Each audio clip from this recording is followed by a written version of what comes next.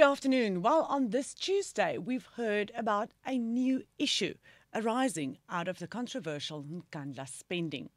Police Minister Nathi Nhleko says he has some questions, and this time it's about the mysterious construction of some 21 houses for members of the police and the Defence Force.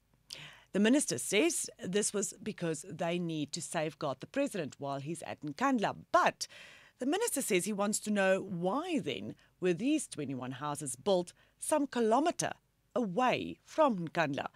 In the minister's words, how are you going to protect the person that you are supposed to protect if you are a kilometre away?